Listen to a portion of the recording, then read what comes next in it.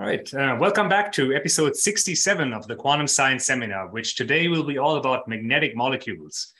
As always, if you have questions, please send us your questions to quantum science seminar at gmail.com or use the YouTube live chat at the right or at the bottom of your screen. Please also note that, as always, there's a 30 second time delay between what we do here on Zoom and what you see as live on YouTube. And with that, I'd like to hand over to Costanza, who will introduce our speaker today. Hello, good afternoon, everyone. I'm really glad to have with us today Roberta Sessoli from the University of Florence. Roberta developed her career at the University of Florence, where she's full professor since uh, 2012. Uh, she played a key part in the original discovery of single molecule magnets. These are a broad class of molecular materials that exhibit magnetic memory and quantum effects. This seminal discovery opened up an entirely new field for scientists toward nanotechnologies in general. Her current research interests include the interplay between magnetism and chirality, magnetic molecules on surfaces for spintronics, and molecules with highly coherent spin dynamics for quantum information. For her scientific achievements, she has been selected as a member of the Science and Technology Advisory Council of the President of the European Commission and she's also appointed as a member of the Accademia Nazionale dei Lincei, of the Accademie Europee, and of the European Academy of Science. Roberta received as well numerous and prestigious prizes, including the González uh, Chamisian Prize of the Spanish Royal Society in uh, 2020, the Centenary Prize of the Royal Society of Chemistry in 2019, the Distinguished Woman in Chemistry Award from the IUPAC in 2015, the Lecoq de um, Boisbaudran Award from the European Rare Earth Society and the Agilent Technology Europhysics Prize in 2012, in 2002. Um, Roberta also received uh, the, has been awarded the ERC Advanced Grant in 2010. So we're really uh, looking forward to your talk and uh, the stage is yours. Thank you, Costanza. Thank you, Sebastian, for Costanza for the nice introduction, and Sebastian and the other, the organizer, for, for inviting me here today. Um, as you can see from my slide, and as you have heard from Costanza, I am a chemist, and I, talk, I would talk a little about chemistry, but I hope to anyhow to attract your interest and just to stimulate your curiosity about what uh, magnetic molecules can really bring to the field of, uh, uh, say, of quantum sciences. Um, as it has been told before, there will be, a, I will just uh, uh, divided the talk in a sort of three parts and the questions are welcome at uh, in any moment, but probably they will be delivered to me by our organizer when I will make this sort of, of, of break. Of course, I want to start. Okay, so here for the most important slide, which is this, which is the slide of uh, acknowledgement. Uh, what I'm going to present are, of course, results taken over many years by many people, students, uh, postdocs, uh, collaborators, co-workers, and so on.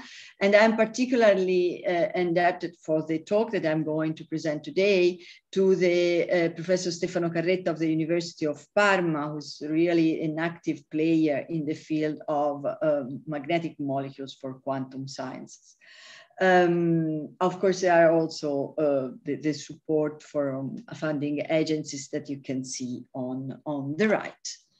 Okay, uh, I, the title that I've selected is not about quantum application, but more about quantum nanoscience. I'm not really in deep inside the uh, quantum algorithms, quantum um, quantum logic, and things like that. But uh, I think that molecules have a, even if they are very uh, much less investigated than other platforms for quantum uh, information science, they have a a, a, pro, and the pro is uh, related to that dimension, which is intrinsic nanosized. And all the properties that I will show to you will actually are uh, retained at the uh, molecular level. And so they're really uh, usable in, in uh, also in nanoscience. Uh, I just uh, recommend you this, this review or perspective where the different type of platforms that can be scaled down to the nanometer size, sorry, I'm just, has, have been, uh, have been uh, uh, say, just discussed with their degree of freedom, with their typical length and uh, time scales.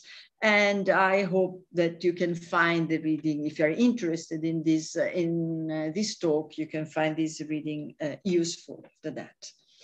Okay, I do not have to, to spend too much time with you about uh, the spin on a Bloch sphere. The spin is the typical, uh, say, two-level system that uh, can be uh, can express all the quantum properties. But if one refers to magnetic molecules, one has immediately to uh, to to divide them in two classes. The first classes in, I think, in a language which is more, um, more uh, familiar to you are those molecules which have a long spin lattice relaxation. So they have a long T1, so that actually they behave in a certain sense as a classical memory with a zero and one state. But the zero and the one state are intrinsic of, uh, of the molecule. Why uh, to why a molecule can uh, be used as a classic memory. It can be used as a classic memory if there is a barrier that hampers the, uh, the reversal of the spin. And in order to have this reversal of the spin, we need to have a potential barrier. This potential barrier, which is highlighted here, it is just a magnetic anisotropy and comes in the very, very simple, the simplest way with this very, uh, say, um, uh, quadratic Hamiltonian in the spin term, where the D, which for us is called the zero field splitting, is simply related to the spin orbit coupling and the magnetic anisotropy of the molecule. Of course, as you have seen from, from the, from the uh, animation, you have discretized level and this discretized level, you can uh, go from one side of the double well to the other side of the double well with a thermally activated process, visiting all the levels, or you can go with an under barrier process, which is called quantum tunneling of the magnetization. Just to give you an idea of how the, the, the um, classical and quantum behavior, even if still not coherent, but just quantum effect, can uh manifest.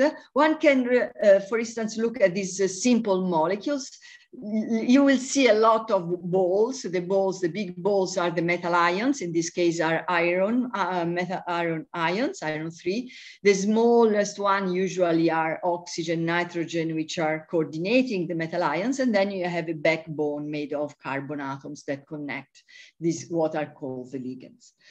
Okay, when one has uh, the possibility, the, a, a, a, potential barrier due to an anisotropy, but which which is quantized in level because the spin of these molecules is larger than that of a, of, an, of a ion, but still, I say, a small number, and these levels are well discretized, one can get the possibility to put levels on opposite side of the barrier, either in energy coincidence, for instance, in zero field, as the, uh, the, the anisotropy is d as z to the square, the, the sign of the, the, the sign of the projection doesn't matter in energy, so they are degenerate.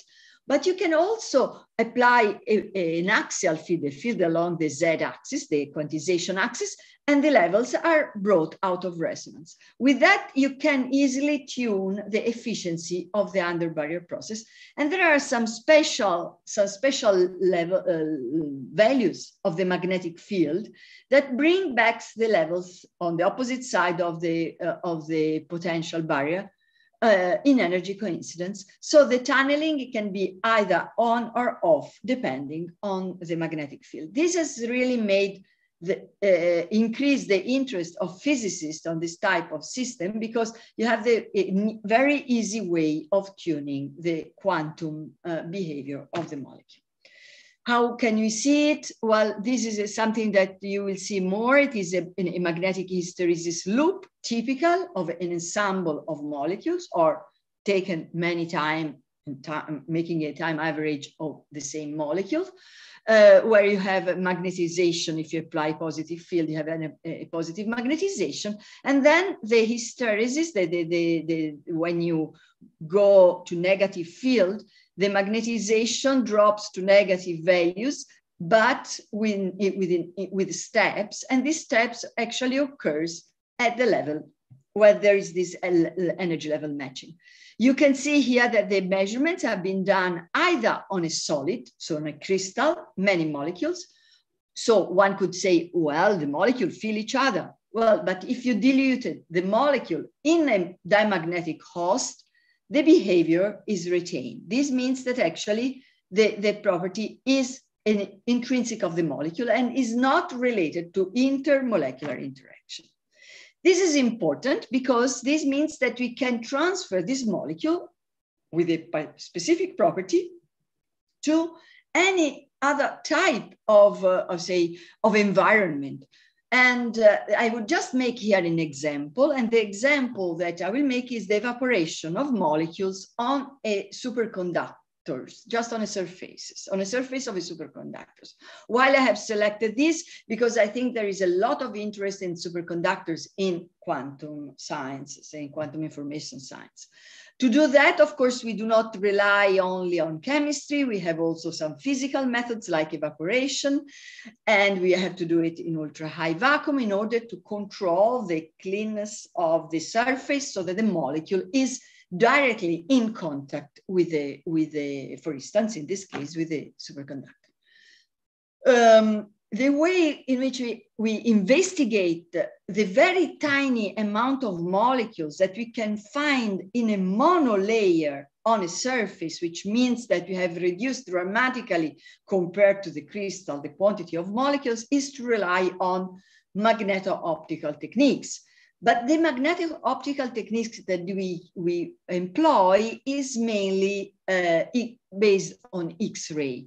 Why we use X-ray, and in particular we use X-ray at synchrotron facilities, because we have a very tiny amount of the elements of our molecules that is carrying the spin, and we have an, an enormous amount of other of, other, of the mass of the substrate. By, do, by using X-ray, we, we address core levels. So we are very selective, specific to a, a, a particular um, atomic species. What is even more important for us is to be sensitive only to the surface, because of course, we could have in the bulk also the same impurity, the same elements of our molecules, maybe as an impurity. But there are a special way of measuring X-ray absorption, and that is just looking at the, um, at the secondary electrons that are emitted. And the second electrons that are emitted, the electrons, are, um, uh, say, attract uh, current from the ground and what is really measured here is the current that reestablishes the neutrality. This is called the electron yield. As only the atoms that are excited very, very close to the vacuum can uh, really release the electrons to the vacuum, uh, can be provide these uh, these uh, um, uh, these uh, electron to reestablish neutrality. We are sensitive only to the say to a couple of nanometers on top of the surface. We can use circularly polarized light or linearly polarized light. With circularly polarized light, we have an angular momentum, and with this angular momentum, we can prove if the if the uh, if the um, orbitals are spin polarized and get information about the magnetism. Uh, we can also go down in temperature, even if we are in working at very uh, in ultra high vacuum condition and under an, an electron, a, photon flux, which is very strong, that of a synchrotron. Okay, so what experiments we have done? The molecule that I've shown you before that has this hysteresis, but has also this quantum effect in this hysteresis, can be deposited on lead, on the surface of, of the 111 surface of lead. You can see here an STM images that has been taken in our laboratory, where the molecules really nicely pack in an hexagonal lattice. And uh, uh, you can go to a, one of the synchrotron, for instance, the one in France, Soleil, and you get a magnetic hysteresis. The magnetic hysteresis is a little more noisy, of course, than the one I have shown you, because of course you are dealing just with tiny amount of, of atoms. Mm. but of course, they, they have the typical, the, the, the, typical temperature behavior. You increase the temperature, you provide some uh, thermal energy, and the hysteresis closes because the, the, the spins can cross the, uh, can cross uh, the barrier. However, there is a difference. I don't make the full story, just to give you a hint about the, the, how this molecule can be used. There is a difference if one works on gold, on the uh, here on the left, or works on lead. And you can see there is a difference in the magnetic hysteresis. I'm just focusing here on this internal part of the hysteresis because lead in, it is a superconductor with a small critical field. So only below 0.08 Tesla, it is a superconductor. So the, the white zone is where the, the, the lead is, is, is a superconductor. But what you would expect on a superconductor? Well, of course, we have different possibility. If it is a normal state, the superconductor, I have the, the, the the, the magnetic field uh, flux line that can uh, invest my molecule, and my molecule will be out of resonance and quantum tunneling will be off. And I expect that I just have the drop when I am in zero field, because only in zero field I have energy coincidence and quantum tunneling is on. But if, the, if, if I am on a Meissner, in the Meissner state of the superconductor, the superconductor shields the magnetic field and my molecule is in, in, in, a, in a situation where it can really tunnel uh, very, very efficiently. However, if the lead will, will behave with a, an abrupt transition from the normal state to the superconducting state, I will expect that the system is demagnetized because I am in zero field and I have quantum tunneling. However, you see that the experiment is a little more is a little more different from the, these two models.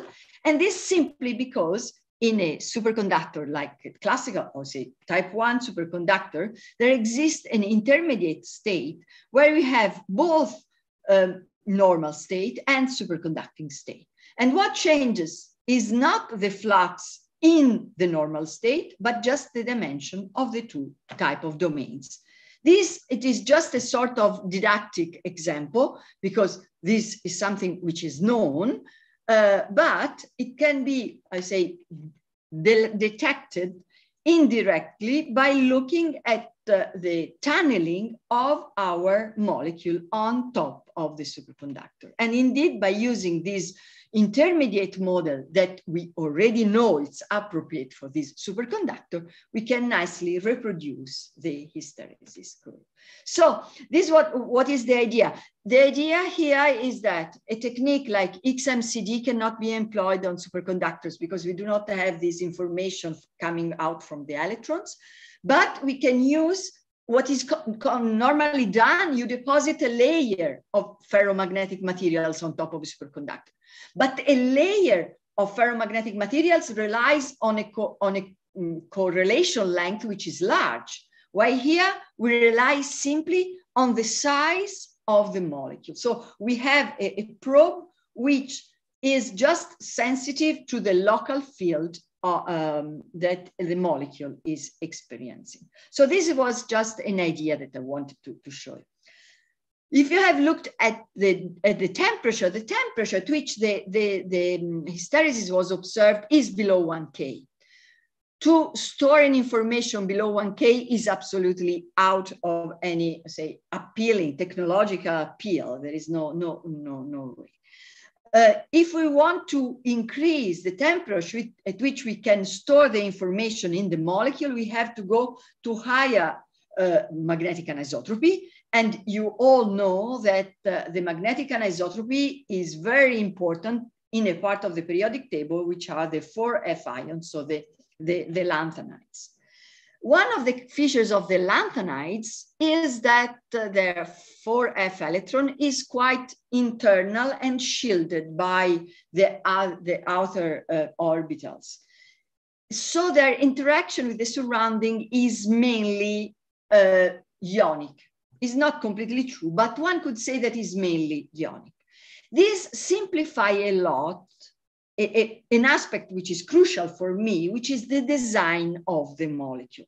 This, I think, is something that you should try to, to make the effort to, to understand because it's really important for the design of material if you're interested in magnetic properties.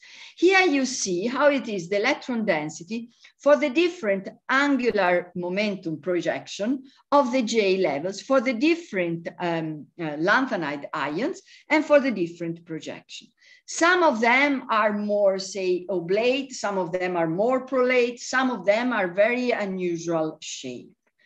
The idea here is that if we place the, the, the ligand charges, the negative charges of the ligand, and here I refer to the coordination bond, which I hope you have retained from your chemistry classes.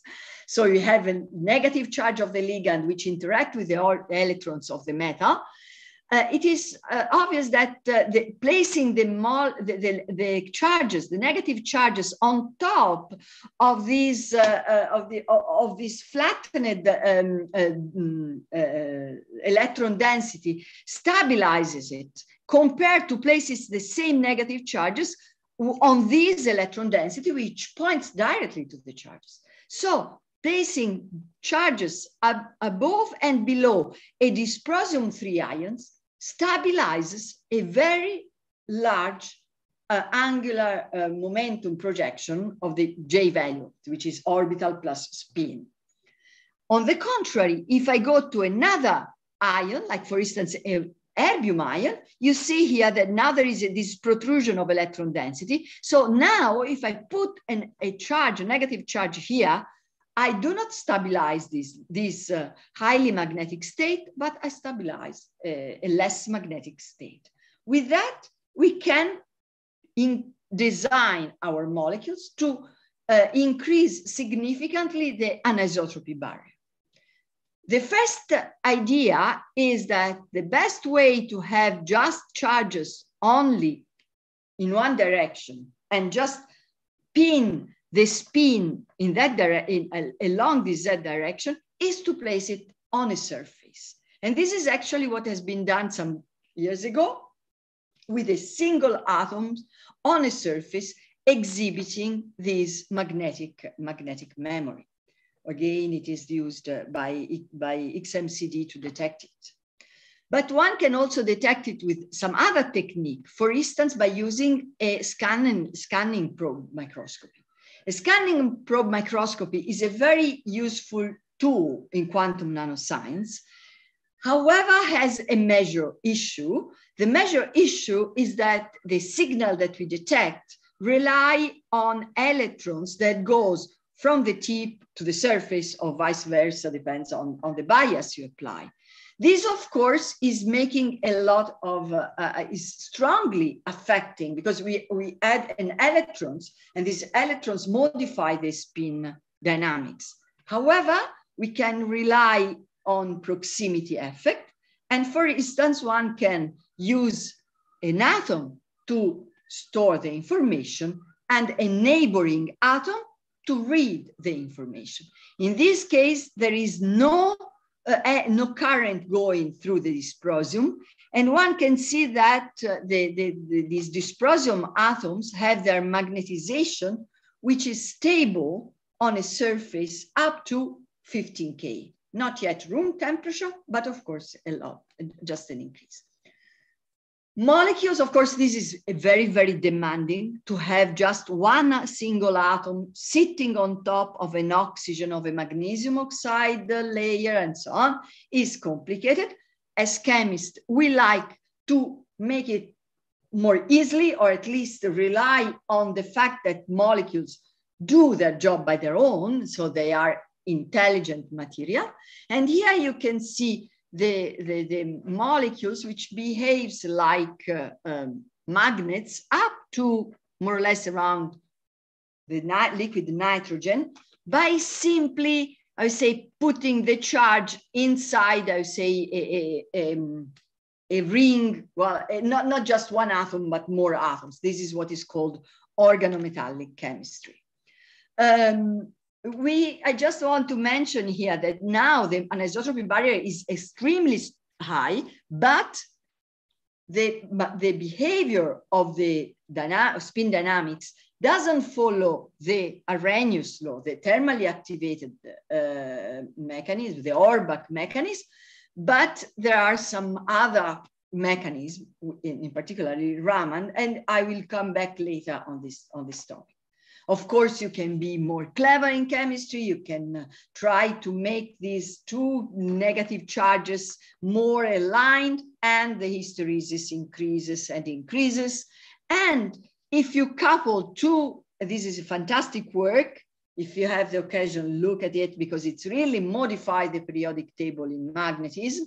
These are two lanthanides, two dysprosio ions, which are coupled by a, an electrons. And now what has happened is that the hysteresis is further increased. Here we have coercitive field of the order of 15 Tesla, much, much more of any neodymium, boron, samarium, iron uh, magnets that you can have in your uh, wine mill. But uh, when but the real interest here is that this Raman process has been suppressed because now we move two spins at the same time. And when we have to, a two-body uh, uh, dynamics, the two-body dynamics um, is much, I say, uh, uh, is much less uh, probable, and so it, uh, it, it the, the, Raman mechanism is somehow reduced. I would stop here about this memory to go towards coherence. If you have some questions, I'm ready to answer too. Um, thank you very much, Roberta. Yeah, we, we do have a few questions. Um, it's very interesting so far. Thank you. Um, so I have some, some general questions that um, we've collected and then some more specific ones. So um, the first question is about the, the general motivation um, of what you're looking at here. Are you normally trying to sort of get at the properties of individual molecules, or is it more sort of asking about individual molecules to sort of build up to a picture of understanding sort of, you know, collected, okay. you know, molecules in a, in a, in a superconductor? Okay. This is a little more related to the past in the sense that uh, mm, uh, the, the investigation of this type of molecules has really added a lot of understanding about how matter and, and particularly spin in solid state behaves uh, at the nanoscale. Um, and uh, as far as the application, of course, each molecule could be a memory, and this would completely, I say, uh, revolutionize the, the, the, the, the, size because you go very, very little or even atomic. Of course, it is very hard to, to read and write this a single uh, molecule. And at the moment, we are not yet in the uh, uh, uh having the right temperature. So I would uh, um, I, I, would not consider as a viable application because for memory, the, the technology is already so mature. But I think that there can be some application and for that I, I, I, wanted to present this data because you can think about having a very local field generated it is a little the example before that I've shown you here. So uh, let's suppose that you are working on a on a on a um, Josephson junction, and you know that if you apply magnetic field, the magnetic field will invest all the magnetic junction of the circuit, and there will be some crosstalking. But there you can actually have a, a very fine control of the of the spin of the molecules with uh, and uh, so depending on how it is or how it is placed and uh, we are also working at the use of electric field but i'm not have the time to talk at, at, this so electric field can actually um, mm, control the spin of a single molecule and uh, uh they can be screened, it can be uh, localized at the molecule level. So not for real application, but in, in principle, they are interesting uh, for new hybrid platforms. I think that this could, is probably the, the, the, the, the application of this type of molecules. Okay, that's, that's very interesting. Um, so the next question we, we had was um, involved sort of working with molecules on surfaces. And the question is to what extent the surface sort of changes the properties of the molecule. Um, so there are sort of two sides to this. Firstly, do you have to uh, a particular surface for a particular molecule? And to what extent are you always looking at sort of just physics of the molecule? And to what extent is it sort of surface science as well? Of course, these are complex molecules which are rely on the coordinate coordination bond, which is uh, weaker than the covalent bond. So some type of surface destroy the structure of the molecule because the ligand, for instance, interact with the metal. Mm -hmm. Usually we on, on a thin layer of oxide or graphene, um, silicon carbide and so on, they are quite, uh, uh, quite uh, safe uh, sometimes we also it is uh, you will see later an example where the molecules do something to the surface. So we have a mutual interaction but the the, the, the interest can be also in, in, this. But in general we have to be careful and uh, control the interaction with the molecule. Um, thin layer of oxide are decoupling layer that usually prevent any type of re re chemical reactivity. Um, very interesting. Um, so the next question we have was sort of uh, going to the temperatures of these um, of these experiments because you said that on one of the slides um, you noted that um, that the temperature was around 40 millikelvin. Um, so we guess that's the temperature of the of the cryostat in which these things are, are being cooled. Um, and, uh, and, and if so, we're sort of wondering to what extent the, the sort of spins that you're looking at here are always sort of thermalized with the, um, with the temperature of the, of the cryostat, or are there things either, you know, in general or during the probing where, um, where you actually have sort of a separation and the spin doesn't okay. thermalize okay. with the, okay. the, the rest of the... I have to, to, to say that, uh, uh, okay, um, some cry. Uh, there, there is a, a, around 300 milli There is very difficult to see a difference in the behavior of the molecules, which can be either that you have completely reached, uh, achieved a, a, quantum behavior, or actually we cannot uh, we cannot uh, thermalize uh, more our molecules. I mm, I'm not working really in the milli I'm working in the hundred of milli. And at this, no, we see we can we can easily, especially if they are on a conducting on, on a metallic surface. Uh, it is not the same if, for instance, you work in vacuum and you cannot work on a, on a bulk oxide. In that case, it can become a very, very hard to, to thermalize. But on, on metallic surfaces or where the bulk of the surface is metallic, we have a good thermal contact. So, so that sort of answers the, the next question we had on the list, which is are the cryostats cold enough or would colder temperatures be, be beneficial to your to your research? I guess from what you're saying, mm, I would say or... that at the moment, uh, no I expect for the fact that uh, very very low temperature can be useful to polarize uh, uh, nuclear spin and electron spin. So of course, working with the spin, if we rely exclusively on the Zeeman energy, we know that the Zeeman energy is more, and so we have to cope with that. But as you will see in the following, uh, we are trying to devise, uh, as it has been done with other quantum platform, to avoid the use just of temperature and magnetic field to initialize and to polarize our system in, in, in, a, in a selected state.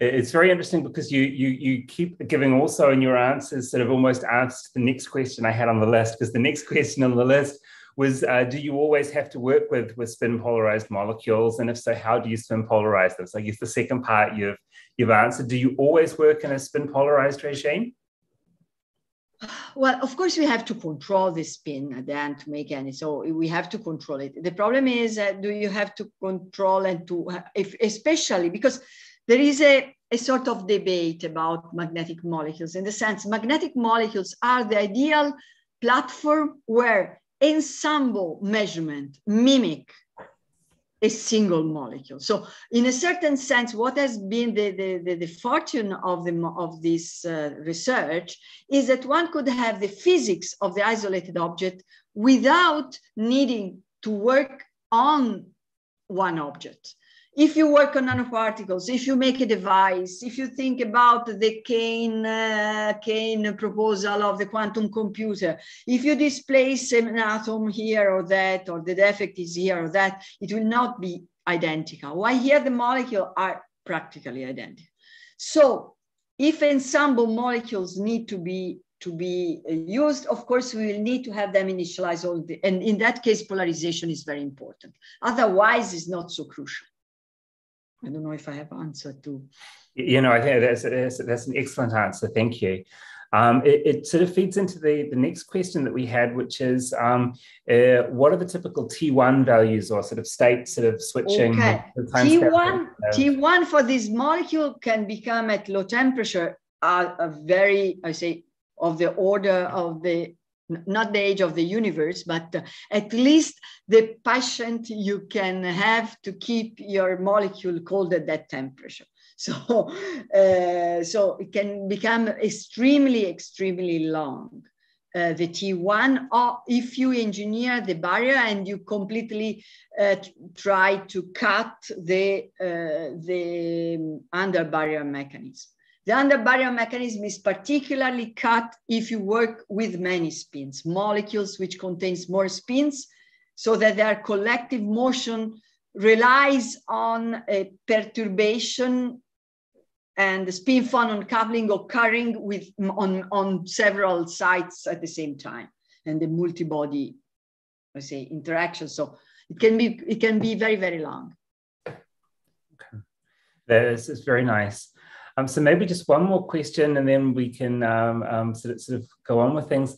That is, um, we are wondering um, what is a good fi- figure of merit to characterize the memory effects when you've got the sort of quantized um, hysteresis and the magnetization. is the is the area of the of the hysteresis plot sort of a good you know way to characterize that, or is there some other particular figure of merit that you of normally course, use? No, of course we can in general, we can rely okay, if you want to have the memory, it would be nice to get uh, no quantum effect because this cut the memory. So we rely on the uh, field uh, magnetic uh, res um, remanent magnetization product, which is typical of all magnetic material. So the energy product in a certain sense. Um, of course, the quantum effect is something that is interesting because uh, in the in the memory market, one of the problem is to have memory that are stable when you want that they are keep the memory, but also easy to write. And so quantum effect can be the switch to uh, to, to, to, to make it uh, easily uh, um, uh, writable in this sense, we have not succeeded in I would say in really interacted with a with the classical memory market technology and just trying to make use of this uh, uh, type of switch. At the moment, you you know that, for instance, the the, the um, what is the company, the big company in, in the US and in Ireland, uh, Seagate they use this laser, just this laser pulse, this thermally assisted writing for, for accelerating the writing. Mm, it has remained a, an idea, but not yet developed. The use of tunneling to promote, uh, to, to facilitate writing. So, so that's very interesting. So thank you for that. Um, I'll um, I will let you continue for the moment and uh, collect some more questions for the um, for the, the, the next question break. Okay, so I can continue. Yeah, please, please, please go ahead. Okay. Okay, so now we go to another type of molecule. So in a certain sense, they have some similarity about the chemical design, but some difference compared to the previous one. In the previous one, we wanted a large spin orbit coupling. In, if you want instead to have a long coherence time, you have to protect our spin from the uh, noise, from the surrounding, from the uh, variation of the electric fields, the charges that moves, the vibration, and so on. Uh, so we'll see that we have some, some, some differences. Um, concerning the platform for realization of a quantum bit, of course, the coherence time is uh, what is necessary, is, is, the, is, is the prerequisite for, for any other uh, type of application. But I would say that we com our we compare, we I'll say compete with uh, other type of spins, which are quantum dots, but in particular impurity uh, spins in uh, semiconductors or, or insulators. If one looked, for instance, at the very well-known uh, uh, um, nitrogen vacancies defect in carbon with their fantastic spin one with very long coherence time and very easily uh, manipulation with light, one would say, okay, uh, this is a simple lattice. If I look at the um, phonon dispersion of, of uh, uh, diamond, well, it's a little more complicated of a prototype of a molecular qubit. Here you see a V, the V stands for vanadium, is a vanadium 4, so it is a D1. So it is just one unpaired electron residing on the metal atom, which is surrounded by this ligand.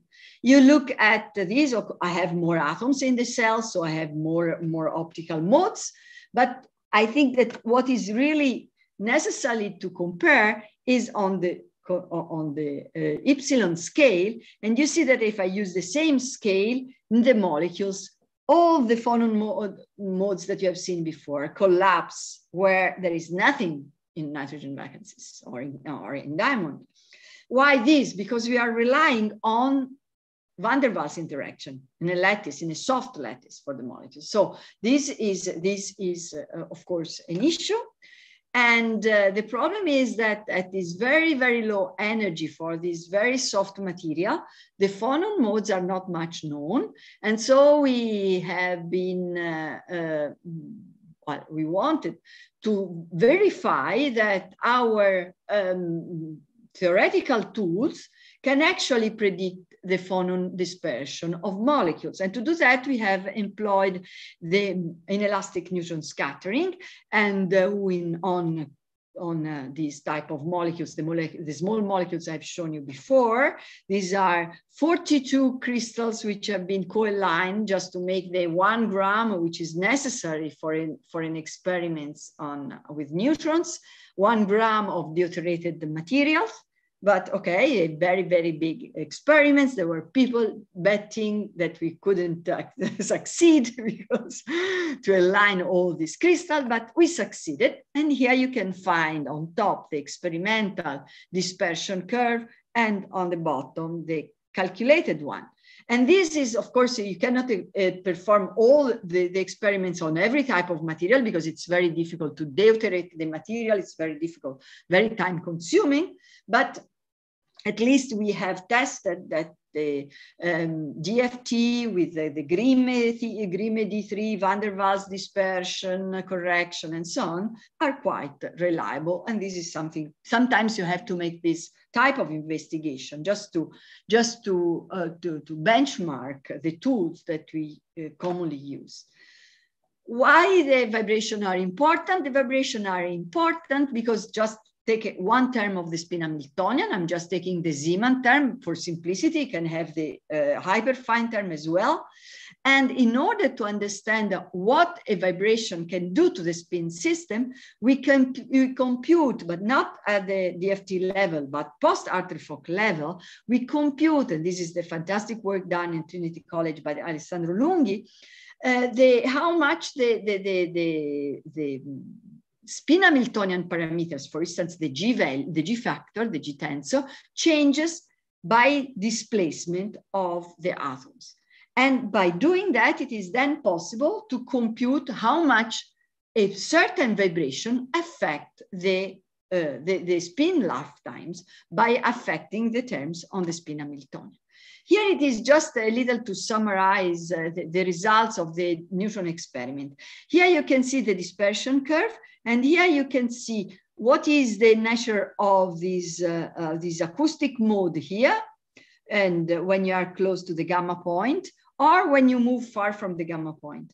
You can see that the fact that we have these optical mode, which are quite close in this type of material, has an important effect in hybridizing, in admixing uh, with the with the acoustic mode. So in principle, one thinks acoustic modes just move the, the, the molecules rigidly from one uh, uh, without affecting what is the, the, geometry around the metal ion. No, it is not the case because actually we have some admixing. And here you can recognize it by seeing how much they couple the vibration in the different Brillouin zone, how much they couple with the, uh, with the spin system. So uh, this is uh, something that we have to, to, to cope with. So because as I've told you before, these molecules have a lot of vibration.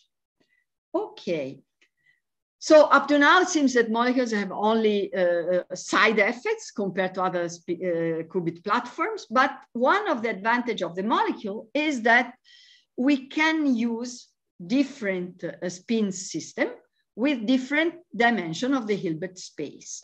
And for instance, if one use a gadolinium 3 plus, and now why gadolinium? Gadolinium is 4F7, no orbital momentum. So no huge magnetic anisotropy. So good coherence, not, not exceptional because it is in heavy atoms, but good coherence. And it is just shows very small zero field splitting, small anisotropy, which is the one that allows us to differentiate the different um, uh, energy of the transition between the spin levels. These are, of course, the the, the, the, the, levels of this uh, the, of this eight, uh, eight by eight uh, Hilbert space, but at the same time, they can be seen as a three qubit system where you can go from one to another, sim well, only changing uh, uh, one, the one qubit state at the time. So it is a, what are called the qudit, and this qudit can increase uh, just with one center, you can have a, a, much more transition and much more degree of freedom. Or you can have two, two gadolinium in the same molecule. And this, in this case, you get with 64 by 64. So it, it looks like an eight uh, 8 qubit uh, mm, system. And here are just, uh, this is not my work, it's the work by Fernando Luis in Zaragoza. And here you can see the Rabi, the Rabi frequencies between the different type of, the different 64 levels of this, of this space. So this is something that is typical of molecules. You have also the nuclei, because the nuclei inside the metal ion well, or, the spin inside the, the, the, um, uh, the, uh, the nuclei of, of, the paramagnetic center is in most cases a resource. I don't have the time to go, but there's been a fantastic work done by Wolfgang Wernsdorfer before in, in Grenoble, then in, uh, in Karlsruhe, where they have used as the computational basis the four level of the of the terbium spin, nuclear spin, and they have used the electrons just to talk, to, to, to, to, in, to initialize, to manipulate, and to read out the, uh, the electronic spin, the, the nuclear spin. The same, this is uh, another nice work, not of me, but by Stefano Carretta, with whom we are also collaborating, about embedded error correction in the um, in a um, using the electronic spin of a terbium ion and using at the same time the four levels of the of the nuclei. However, in order to make use of the nuclear spin, this is something that I want to point out, we need, with hyperfine interaction is not sufficient because if you have Zeeman and the hyperfine interaction, we just get all the, all the transition that falls at the same frequencies. In order to distinguish between the different uh, transition of the nuclei, we need to have a quadrupolar splitting. Quadrupolar splitting usually goes with spin orbit coupling. So it's very high with heavy, sorry, heavy elements. And so this uh, hampers the use of light elements that we prefer because they have a low, small spin orbit coupling. And so the spin is weakly perturbed by the noise. We have demonstrated that it is not necessary to, to work with strong, with heavy elements, but also light elements like vanadium, which is one of the elements that have the smallest uh, quadrupolar splitting, can have a quadrupolar, an effective quadrupolar splitting if one works at low magnetic field. Because in that case, the spin, the electronic spin, one half, and the seven half spin of the nucleus, they are not factorized and they result in an admixing of, of the state and in a pseudo or effective quadrupolar splitting.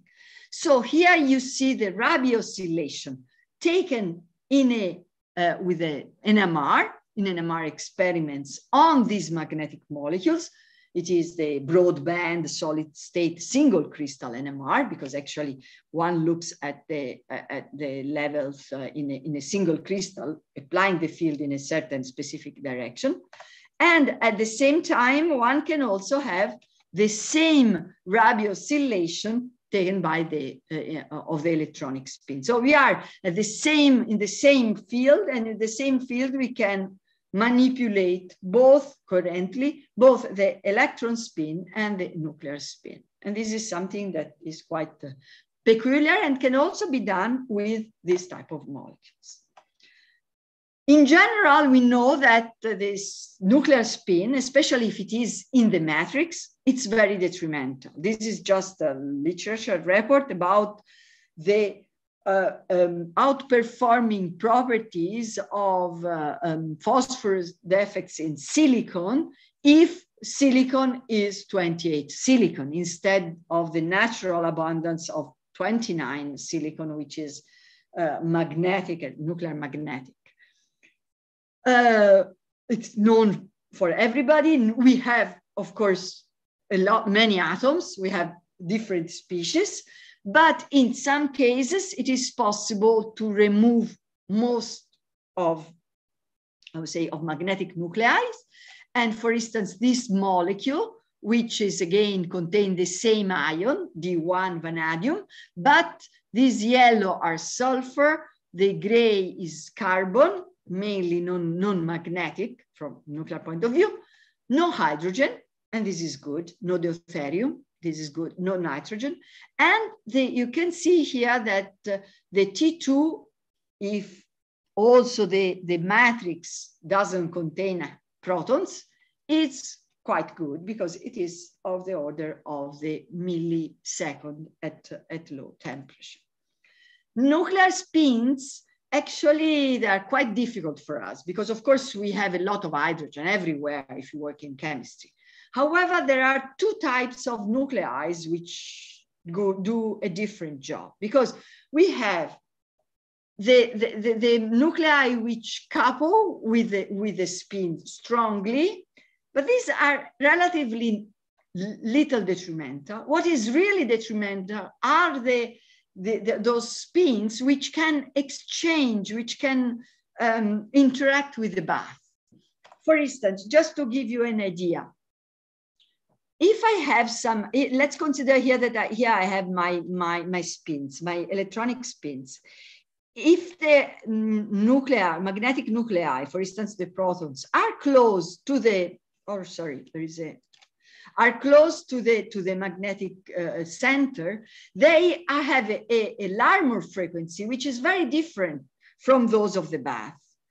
And so they do not exchange, they do not flip if the bath flips. So there is a sort of magic or say frozen sphere where the, the, the protons are not uh, so uh, detrimental.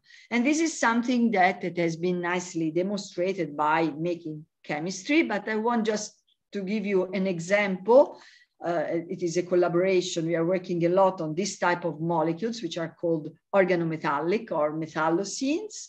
Now the, I, the metal ion is titanium 3 plus, again a D1, a spin one half, very light element. You can see here that this molecule has a T2, TM, of the order of, I would say, well, about 50, uh, 50 microseconds at low temperature, which is not bad, considering that we have a lot of hydrogen atoms. The reason is that all these hydrogen atoms that are here in, the, in these molecules are inside this, uh, let's say, this frozen sphere. And this is demonstrated easily if one investigate the molecule when it is diluted in a, in a similar molecule, but with no electronic spin. It is a titanium 4 analog. Now we have a collapse, oh, sorry, we have a collapse of the, of the coherence. But why that? Because now we have plenty of hydrogen and these are not within the frozen zone. However, if you work at the single molecule level, this is a very highly protonated molecules with, I, I don't know if it is true in every type of, of platform, but for us, 50 microsecond, 100 microsecond is a little the limit to achieve enough, uh, enough coherence to make operation. If we go much below 10 microseconds, then the coherence will uh, hamper the use of microwaves to control, to control the spin. So this is quite interesting. Just to give you an idea, coming back, you say, but where is the nano? For instance, the molecule that I have shown you before uh, uh, belongs to a class that have been used recently as a, as a sort of sensor that can be say captured on top of an STM tip. And then by making spectroscopy and looking at the magnetic level of the molecule on top of the tip can be used as a sensor of what is happening on, on, on, on the surface. So the idea that the molecule is portable is one, uh, I think is one of the key um, strong, um, strong advantage of, of this type of platform. They have a lot of, say, of cons, but they have some pro. And this portability is, for instance, has been demonstrated here. Um, okay. Um, for instance, the same molecule that I've shown you before, I will go quickly because I think there is not a lot of surface scientists working here. The same molecule that I've shown you before can be deposited on the, uh, on the surface. You can see here the STM images and actually can be stacked on the tip. And here, sorry, is how you see a silver atom with atomic resolution if the molecule is on the tip and you have also these, uh, these uh, say, uh, in the spectroscopy, you have this peak, which is called the Kondo peak. That means that the electrons interact with the spin of, of the molecule. If the molecule, it is released, then the tip lose its sensitivity, but now sees the molecule as a ball. And again, it sees also the spin of the molecule on the surface. This is just, uh, just for curiosity. I want just to, to, to, tell you something about how molecules can interact with surface or can influence uh, um, uh, surfaces. Um, the same can be done with this type of molecule, but uh, for simplicity, I will go to uh, a, a, manuscript that is already published so that you can actually retrieve. This is the molecule again with vanadium that you have seen before. Here are these pro their properties, TTM, T2, and T1, okay. Not, not exceptional, but good, okay. No, nothing interesting, nothing new compared to before what happens if a spin one half of a molecule is put on top of a superconductor? It is uh, well known that this, if there is an interaction between the, the spin and the Cooper pair of the superconductors, this can really break the superconducting pair and can give rise to states which are called the Yu-Shiba-Rusinov states. Um, I am not working in that direction, but there is a lot of interest about spin chains on superconductors to construct topologically protected or uh, Majorana, Majorana states uh, on superconductors, which is not my field of research, but I know that the, possibility to modify locally the, the, the wave function of the superconductor is quite interesting. Okay, if we deposit this molecule on the superconductors like we have done at the very beginning, you go and this molecule is a little strange because it has an oxygen on one side. So it can just land with the oxygen up or with the oxygen down. And you can recognize because in STM, you see the orbitals and the conductance is different for the two type of absorption geometry. The molecules retain its spin one half. It can be seen going to, again to a synchrotron, now ESRF. So we know that it is a spin one half molecule on the surface. However, if one makes some spectroscopy with the STM, one realizes that when the molecule lands with the oxygen pointing up, the spectroscopy is the same on the molecule or far from the molecule. What does it mean? It means that what you are seeing here is the energy states of, and the gap in the energy state of the superconductors. Exactly. So the molecule is doing nothing.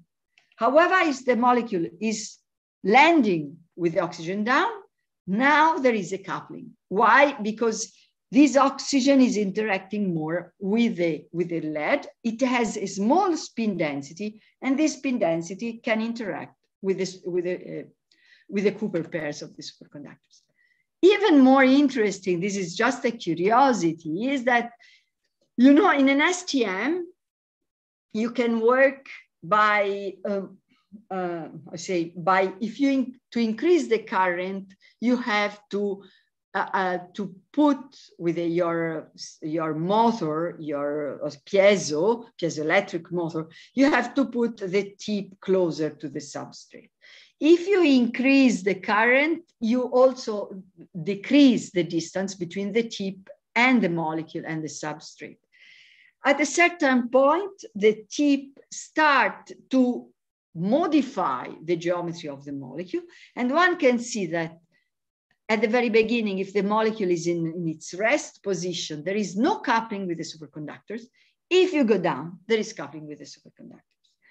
And this is quite, uh, was, it has been simulated by uh, a small distortion of these vanadium oxygen bonds that change the symmetry of the orbitals. And then there is a, some delocalization of the spin density in the, in the superconductor. So there is also a way of controlling the level of hybridization between a molecule, the spin of a molecule, and the Cooper pairs of a superconductor. And I think this is something quite uh, new and quite interesting. I am finished for the part about spin, uh, small spin and coherent spin system, if there are questions. And then we can jump, we can also finish and I will leave out, but the very last part is very short. It is about the use of light, but I can also avoid to mention that. I, um, so, so thank you very much, Roberta. It's um, really fascinating, and um, uh, in terms of uh, exactly you know how to finish this, that's, uh, that's up to you. Um, but we'd be happy to ask a few questions now if, if you're um, if you're okay with that. Um, so uh, one of the well, one of the questions we sort of had is you know about different potential ways to address these these these molecules if they're on a surface or indeed uh, you know embedded within a crystal and sort of wondering to, to what extent, if you put multiple molecules on a crystal, um, you can address them individually. Um, is it always just done with the with STM tips, or are there other ways to to address um, different molecules if you have multiple ones on one surface or in, in one crystal? Okay. Well, in a crystal, one could actually rely, there are some old proposition about using a gradient of fields to to have the the uh, the Larmor frequencies or the resonant frequencies vary. Up to now, I have not uh, not um, seen experiments done in this direction. So all the all the experiments that address the sing at the single molecule have been done in um, either in a junction under an STM tip or in a junction like a broken junction, so in a, in a nano junction. So, um, well, uh, cavities, can we achieve the coupling with a single spin uh, optical cavity, like for instance, super, I'm not talking of that uh, because it's not really my focus. I have a lot of collaboration, but it's not my research. But we have also experienced some uh, strong coupling with photons uh, in the gigahertz, microwave photons in, in cavities, but always with many, many spins shrinking the dimension of the uh, of the cavity uh, but uh, no i think we are not yet uh, we still rely on the confinement of the electric field at the moment. I don't know if there are optical means to go to single to single molecule but this is a matter of collaboration is not uh, is not actually my my my research field yeah, so, so that was going to be my next question: whether there were, um, you know, ways to optically address these. But I, I guess you, you you you answered that in your your previous answer.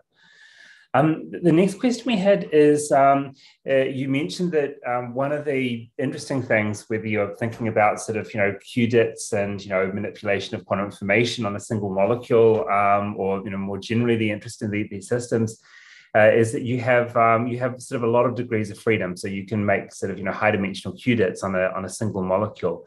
Um, what I was wondering is to what extent that means that the that the frequencies with which you control um, sort of you know different operations, if you like, between different degrees of freedom, start to get closer and closer together as your molecule becomes larger. We sort of see this, for example, in, in ion traps where um, where the you know the frequencies with which you drive the motional modes as you add more ions they come closer together it becomes harder to manipulate them and everything has to be done more slowly to be um, to be selective do you have the same thing um, when you're dealing okay. with these large molecules i would say that we are a step behind in the sense that uh, the um, traditionally uh, magnetic resonances are done with commercial very i would say very powerful very i would say well uh, performing uh, commercial instrumentation which are the the, the, the standard.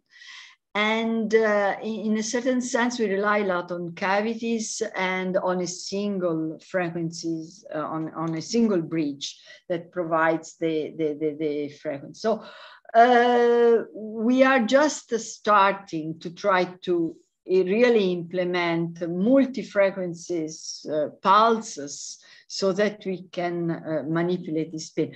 And one thing that is important, and this is why uh, at least our research, chemical research, is that we need to start from well uh, oriented matrix um, systems. So uh, we need to have the, uh, the, the, retain the coherence by decoupling. So make an ensemble measurement of isolated molecule, but at the same time isolated, but all uh, equally oriented. And uh, when you want to go to, to a large uh, Hilbert space, it becomes difficult to find exactly the same chemical environment because it is uh, any metal ions like its own particular geometry. And if you eliminate one electron going in another square of the periodic table, then you have a, diff- a, slightly different chemistry. So it is something that requires also a lot of chemical um, engineering, but it is something that uh, our community is trying to do. There are some laboratories that are really developing this multi. And also the idea is we are working on ensemble and in cavities, you have to have a frequencies that stays, however, so that they can all be operated, operated in the same cavities. And the planar resonators at the moment are the one that appears the most, I say most, most uh, promising, mm -hmm. superconducting or high TC uh, superconducting resonators. Yeah. Um, so, so what is the um, what is the perspective um, then of maybe thinking about doing these experiments also at higher temperatures? So you know, not millikelvin temperatures, but could you are there, are there ways potentially that the spins that you're interested in can be engineered so that maybe they decouple somewhat from their environment and you can do these closer to room temperature? Or... Okay, well, in principle, in principle, I would say that if you do not the, the problem is the reading out. The, the, the, coherence can be retained even at room temperature. So um, the problem is to optimize the readout, the single model, because at the high temperature, you do not have an, a very powerful initialization. So you have to rely uh, on single on single spin detection. Single spin detection has other problems. So it is a, a sort of, of, of, uh, say, of circuit uh, of problems to solve. But in general, we do not need the, the spin uh, below 10k they are more or less uh, have a same spin dynamics. There is no interest in going below 10k and many of them can be even investigated at room temperature the coherent. Uh, they are still going in echo and you can see the Rabi oscillation at room temperature. It's very interesting um, so we have a, a, couple more general questions, but I think maybe the best thing would be if you finish up the, the talk, and then we'll um, we'll save the um, the last couple of questions. Okay. Have anything else we get to the end. Okay, so I want just to very, go very very very quickly to another another topic, but however it is one of the topic I'm now, and so I'm happy if I have also feedback. I do not have to spend too much on this slide because I think all of you know how by, uh, by photo exciting the nitrogen vacancy centers in diamond, you can have an intersystem crossing and selectively populate a singlet state. And this gives rise to a preferential um, population of the MS equals zero state of the E uh, one uh, um, mm, of the S equal one of the or, of the nitrogen vacancies. You can even do more and actually also uh, polarize the nuclei of the of the nitrogen, which is quite uh, quite fascinating.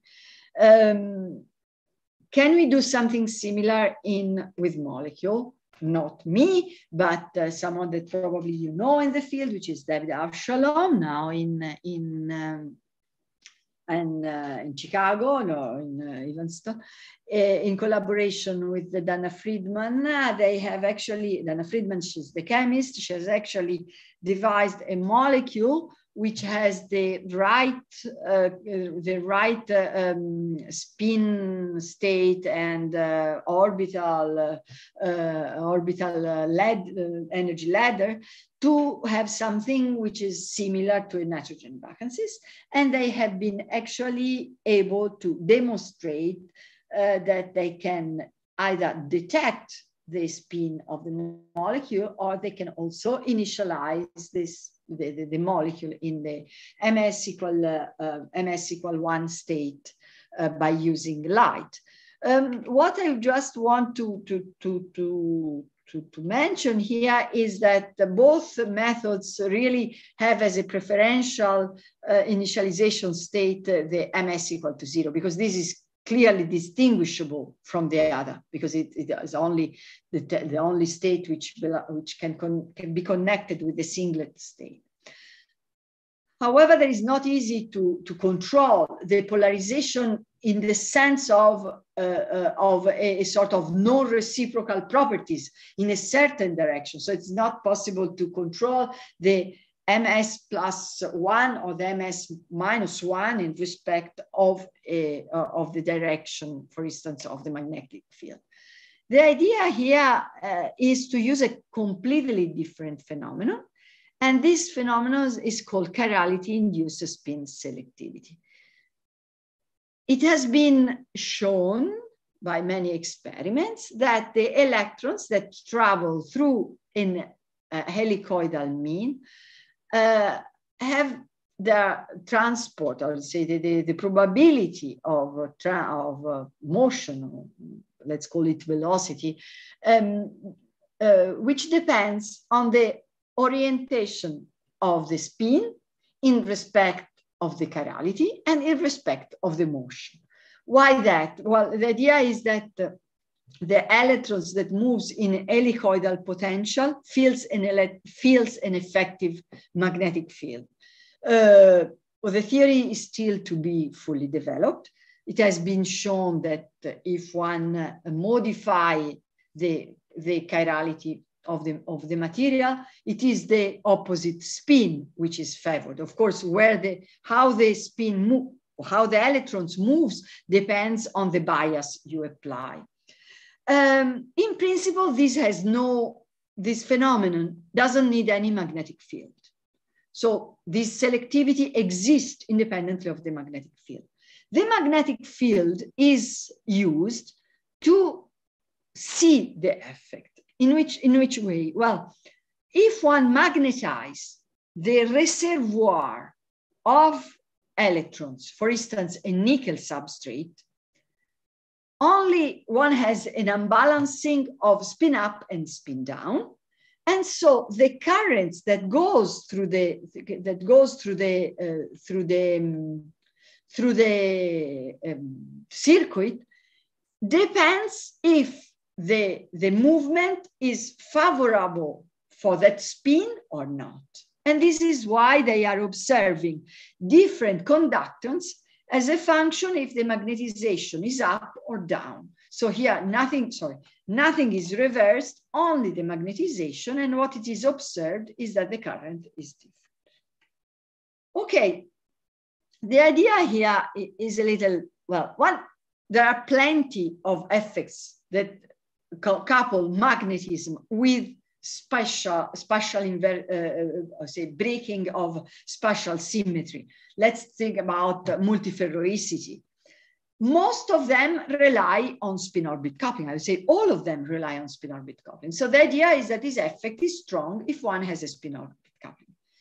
If, the, if one use a device like that, there is a strong spin-orbit coupling on the electrodes, but not on this, because this type of, what I have drawn here is an oligopeptide, so carbon, hydrogen, oxygen, nitrogen, DNA molecule, so it is an organic molecule. It is something completely, well, very, very light elements, very, very little spin orbit And what it has been observed is that the spin filtering depends on the length of the chain. So it seems that actually it is this part which plays an effect. And this is quite intriguing because little spin orbit coupling, a lot of spin control. No spin orbit coupling is hard to get spin control. So we have started a collaborative work, first in Italy, then we have proposed it with, uh, with a group in, uh, uh, of researcher in, uh, in um, Northwestern University, Berlin, uh, Weizmann, and so on, because Ron Naaman has been actually the, the, the, the uh, the, the, discover of this, uh, of this phenomenon. And the idea is, can we just check if the phenomenon exists in without the spin orbit coupling of the electrodes?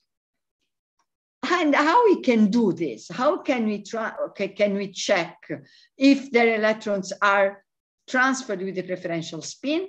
The idea is, sorry, is to use is to use light to excite a molecule or one part of the molecule, which here I call a donor because it has uh, the tendency from its excited state to transfer the electron to the acceptor.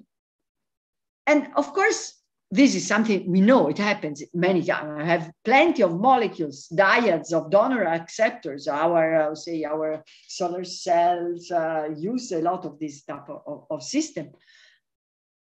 However, how to check if the spin that arrives on the acceptor is spin polarized and how it depends on the, on the chirality. The idea is to use microwaves and to use EPR spectroscopy. Actually, the, the idea here is that if you go to the Jablonski diagram for very simplified, we have uh, the acceptor donor. We excited it either to a singlet or to the triplet it can be some intersystem crossing goes to the triplet, and then you can have the electron transfer. However, when the electron when the electron is transferred, the, the, the, the it recalls or reminds the, the, the, the, the, the, the, spin configuration of the beginning. And what we end with is a non-equilibrium distribution of the uh, population, of the spin population on the four levels, because now we have a radical here, a radical there, a spin one half here, a spin one half there. They are inside the same molecules, they see each other, and so we have a singlet and a triplet. And this population of the singlet and triplet is out of equilibrium. How we measure this out of equilibrium? With a time resolved EPR. So we have a uh, detect the absorption after that, we have triggered a, a, laser pulse as a function of time. And this is done for any field. And so we get a EPR absorption as a function of the field, but also at the same time as a function of the time. Of course, at the end, there will be no more um, uh, no more uh, signal because we have also recombination of the two radicals. They will go back and the electron back electron transfer will cancel the signal. But we have a, a, a measure of how the spins are polarized inside these, because of course we can have some, some lines in, uh, uh, in absorption, some lines that are in emission. And mimicking them, of course, we know how is distributed the population. The idea is that CISS actually modify this spin population because I just get only one spin on one side, only one spin on the other side, if I have 100% spin filtering, and this must be detectable, or at least we think it is detectable. We have done some very first experiments. I will go very, very quickly. It is a quantum dot as a donor. The acceptor is a fullerene linked by a, a, a polypeptide chain these excited state are suitable for making this electron transfer. And we have made the experiments with the cadmium selenide functionalized with a fullerene or cadmium selenide functionalized with something typical, similar, but the fullerene is not chemically linked. If I start from the chemically uncoupled uh, system, what I get with after irradiation of the uh, cadmium selenide quantum dot is the typical full uh, spectrum of the excitation because unfortunately the fullerene absorb everywhere. So we also get the triplet state of the fullerenes, which has this typical spectral feature, nothing new. If I use instead the fullerene, which is bound to the cadmium selenide, we see this extra peak. And this extra peak is the electron, which has gone today. today. so there has been an electron transfer. This electron transfer has occurred on a long aliphatic chain, which is an idea that maybe CISS exists and is present and is detectable. The idea is why all biology or say all life is based on these helicoidal molecules is that also because electron transfer is favored in a helicoidal structure, in a chiral structure, because one spin is favored, but the back transfer is unfavored. And before the electron transfer go back, the electron goes back, the spin must be reversed. And this pump the electron and make the electron travel in one direction, even if you are not applying strong bias, only by chemical potential. So this is the idea that this, this CISS effect is very important because it is also the basis of many processes, in many electron transfer processes, including the biological one. These are the experiments we have performed. Fortunately, we have collaborated with Stefano Carretta and the theoreticians in, in Parma that have done this nice simulation. It's uh, um, Emilio Macaluso who has done this work. And the, the, the, you can see that uh, if, the, if the quantum dot has its density matrix where it's just populated the singlet state, we will see a difference in the spectrum of the Fullerene if it is no CISS, no spin filtering, or spin filtering. But none of these two resemble our experiment. If the quantum dot is excited in the triplet state, uh, so different density matrix, again, there is a difference between the no CISS and CISS effect, but again, no similarity with our experimental results.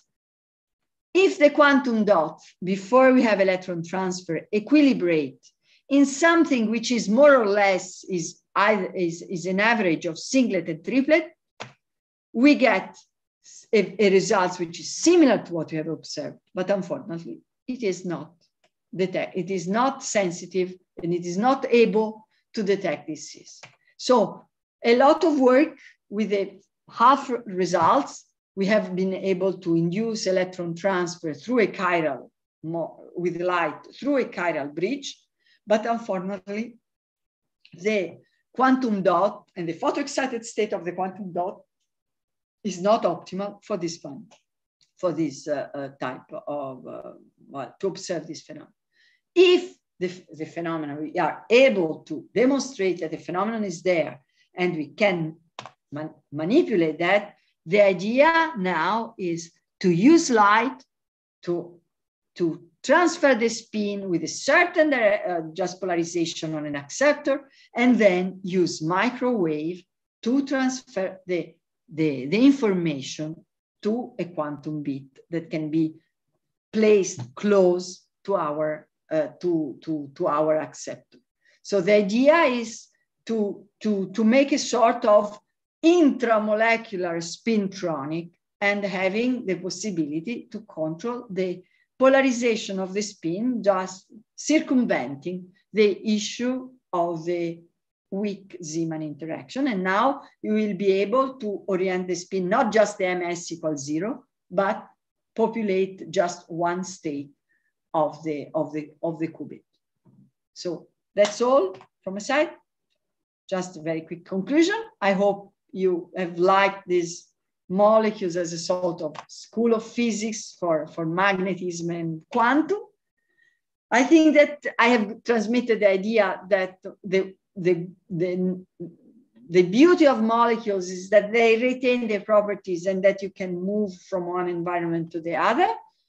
However, as you see, we are, in, at least in quantum application, we are a step behind and that in order to make the best use of what molecules can bring to the field, a communication, cross-fertilization with the community is mandatory. And so this is why I am so thankful to the organizer to having given me the opportunity to talk so much about chemistry today that probably will not have any chemist to give this talk for the next uh, for the next uh, say year or months.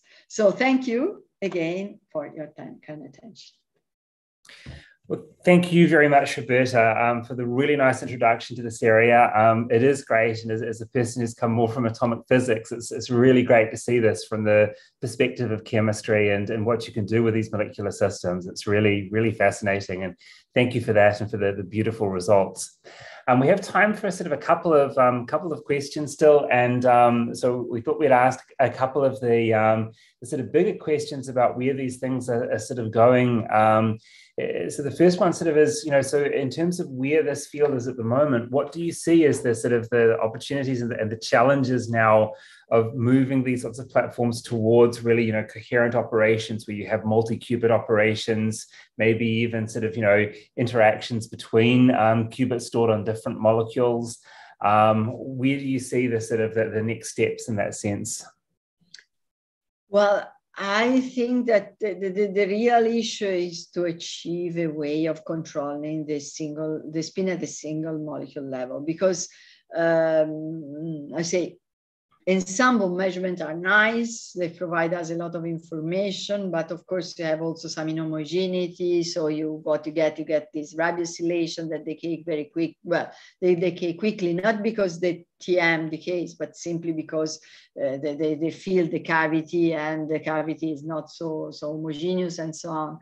So this is a, this is an issue, and uh, the, uh, this is why I am so pushing the, the, the, idea of a hybrid. We have to exploit uh, the, the, the, the, advantages of other platforms. I don't think that you can rely only on molecules, but molecules can do something interesting. And uh, uh, I think we have maybe the community working either in superconductivity or in, in uh, with photons I don't know, atoms and uh, trapped ions. I don't know. it doesn't seem so easy.